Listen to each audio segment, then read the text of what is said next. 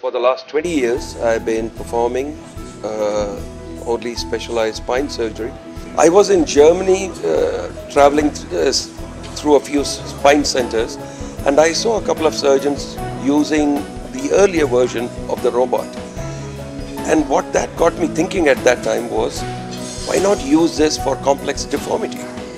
And then I came back and told uh, Dr. Reddy, why don't we get this technology?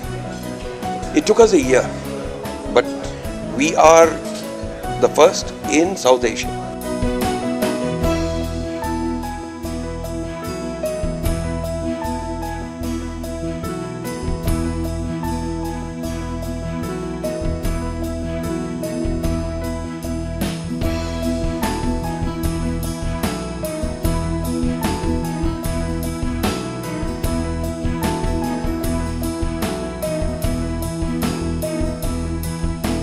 Traditionally, spinal surgery involves fixing of implants. Now, essentially, what the robot does, it works through a workstation. We feed information uh, of the patient's spine in the form of a CT scan, which is done before surgery, into the into the machine, the workstation. The workstation then, after we feed information as to where we want the implants fixed, the robot during surgery moves to that precise location, right down to the millimeter.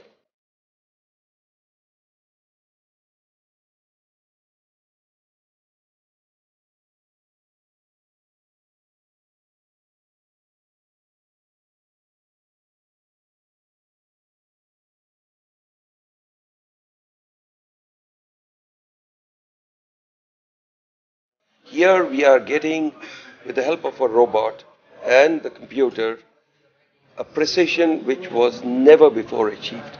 And that is what we want. So it makes surgery precise, safe.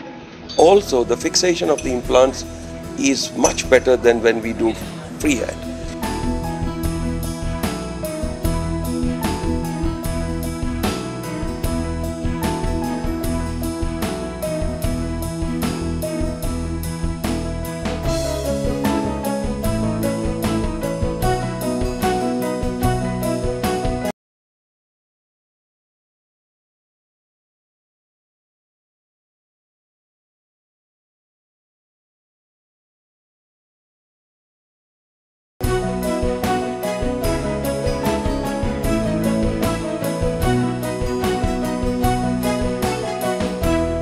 It's all about our patients. It's not about the technology or the complex spinal surgery that we do. You have heard us uh, talk about that many times in the past. We'll continue to do that, but we are happy to see patients like the four on the stage. I have suffering from low back pain around two months or six weeks. But just they said you have herniated disc, just you need to be bed rest. I told them I have a job, I have a family. They said no, there is no way you have to be bed rest. I was walking down the hill and I noticed my left foot was kind of slapping like a child would do. They're running down, kind of slaps, and they make noises. Uh, my daughter Stephanie, she was having severe back pain. When we were with the doctor, the doctor says to me, Your daughter has something called adolescent scoliosis. I suffering from for three years.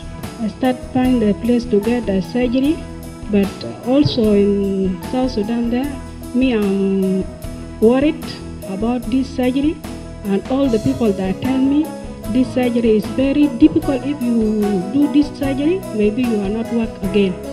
Um, I was having extreme difficulty walking.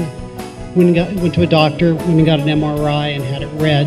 Uh, she looked at me and looked at the, the MRI and looked at me again and just, you know, uh, kind of shook her head. For me, I come here, but also I'm worried because I am a mother of five children. If I get, I do the surgery, I'm not working again. It's very difficult for my, for my family. That they wouldn't advise surgery for a minor. That was their take, that there was no need, that there was nothing that could be done. So I have a lot of friends, Indian friends working in Iraq.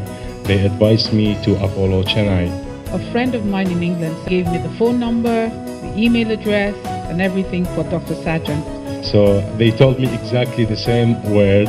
He is the hero of spine. He is number one in India. So, from his resume and from a few good answers that I enjoyed, uh, I decided I would go with Apollo Hospital.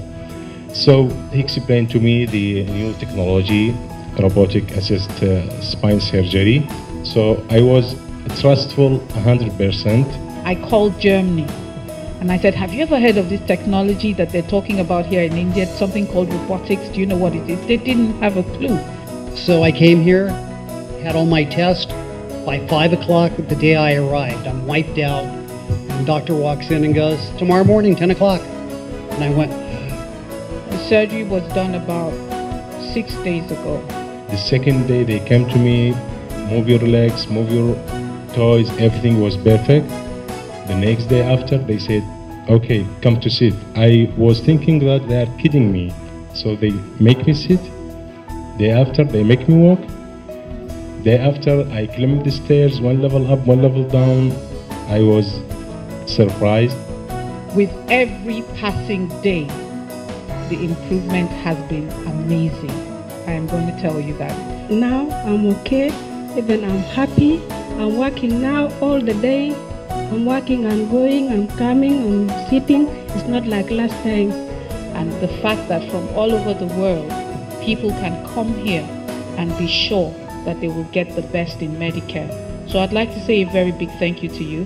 So uh, thank you all, J2, doctors, nurses, staff, you know, everybody. It was great.